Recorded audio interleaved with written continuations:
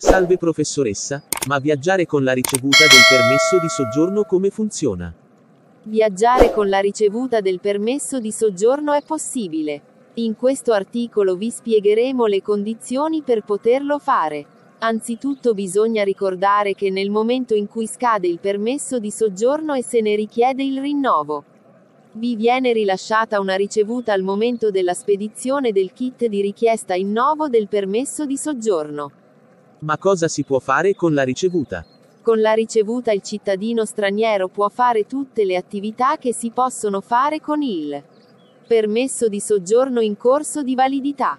Quindi sostanzialmente, il cittadino può 1. Può firmare un contratto di affitto o di lavoro.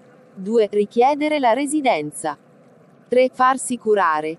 4. Iscriversi all'università o ad altri corsi di formazione. Permesso di soggiorno scaduto posso viaggiare.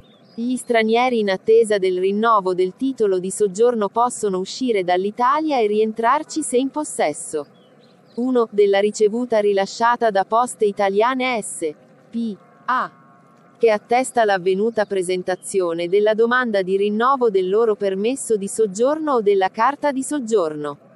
2. punto del titolo di soggiorno scaduto.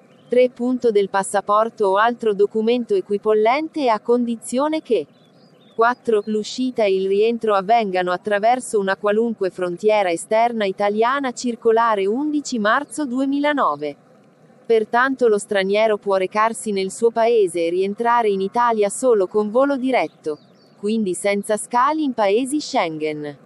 In caso l'aereo faccia scalo in paesi extra Schengen lo straniero dovrà informarsi preventivamente presso le autorità diplomatiche, ambasciata o consolato, del paese dello scalo oppure presso un operatore turistico sulla possibilità di transito prevista per i cittadini del suo paese.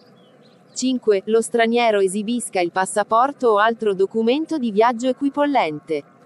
Unitamente al visto d'ingresso dal quale desumere i motivi del soggiorno, lavoro subordinato lavoro autonomo o ricongiungimento familiare, e la ricevuta di poste italiane S. P. A.